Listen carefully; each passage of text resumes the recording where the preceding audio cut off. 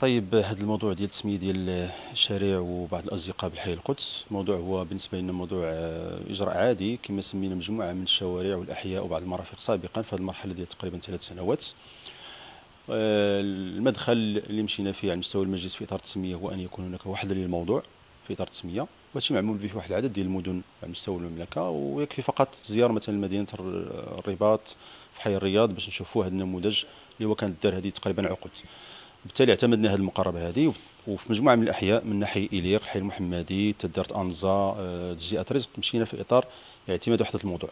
النقاش اللي كان مع الجمعيات استجابة للطلب ديال مجموعة من الجمعيات والساكنة بالحي القدس لاستكمال التسمية ديال مجموعة من الازقه آه، بطبيعة الحال فعلناه في إطار آه، النقاش معهم. وتم في الأخير التوافق مع الجمعية اللي فوضوها مجموعة من الجمعيات للتشاور مع المجلس التوافق على وحدة الموضوع وبالتالي على أن يكون الموضوع ديال التسمية هو كل ما يرتبط بالقدس من قريب أو من بعيد.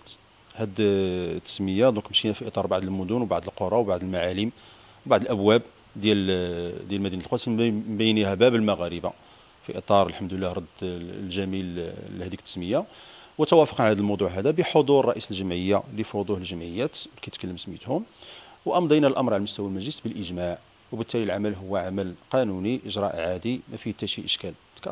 تقدر تكون بعض الملاحظات فيما يتعلق بتعميم المقاربه التشاركيه حنا الجمعية اللي تكلمنا معها كيقولوا بأنهم كيتكلموا بمجموعة من الجمعيات وهذا الشيء راه حتى في بعض التصريحات ديال الجمعيات الأخرى على مستوى يعني بعض المواقع وبالتالي كنظن بأنه ما كاينش إشكال على مستوى المقاربة التشاركيه وبالمقابل نحن منفتحون للإنصات لوجهة النظر ديال الجمعيات إن شاء الله قريبا ونعطيهم الحيثيات والتفاصيل التي اعتمدناها في إطار هذه التسميات.